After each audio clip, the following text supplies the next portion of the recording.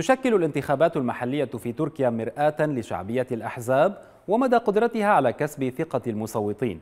فهذه الانتخابات ينظر إليها كثير من المحللين الأتراك على أنها ستشكل نقطة التحول في المشهد الداخلي بالنظر لوضع البلاد الاقتصادي. الأحزاب السياسية التركية تستعد لهذه الانتخابات في إطار تحالفات تم إعلانها خلال الانتخابات الرئاسية والبرلمانية الماضية. تحالف الجمهور ويضم حزب العدالة والتنمية الحاكم والحركة القومية. وتحالف الأمة ويضم حزب الشعب الجمهوري المعارض وحزب الصالح والجيد المعارض.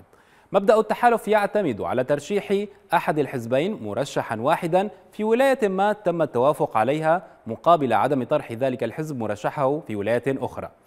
اتفاق تحالف الجمهور يضم مرشحين لواحد وخمسين ولاية أربعة وأربعون منهم لحزب العدالة والتنمية الحاكم وسبعة منهم لحزب الحركة القومية.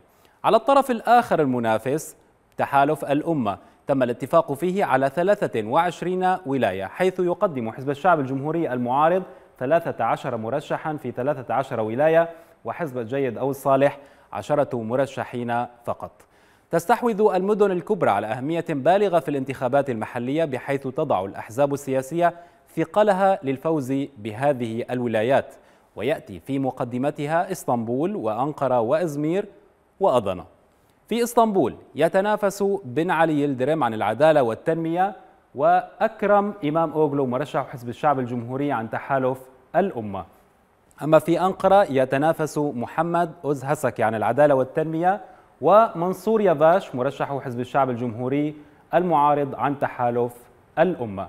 في مدينة إزمير نهاد زبيكجي مرشح العدالة والتنمية عن تحالف الجمهور وتونغ سوير مرشح حزب الشعب الجمهوري المعارض عن تحالف الأمة. وفي أضنا يتنافس حسين سوزلو عن الحركة القومية وزيدان كرارلر عن حزب الشعب الجمهوري. وفي مقابل هذه الاتفاقات هناك ولايات لا تشملها التحالفات إذ يخرج كل من الحزبين اسما يمثله كولاية كلس وأديمن وغيرها. الانتخابات المحلية في تركيا لا تشمل فقط بلدية المدينة أي البلدية الكبرى بل تشمل أيضا بلديات المناطق ضمن المدينة الواحدة. وتجري الانتخابات فيها بنفس التحالفات السابقة. لكن تبقى البلديات الكبرى أكثر أهمية وخصوصية.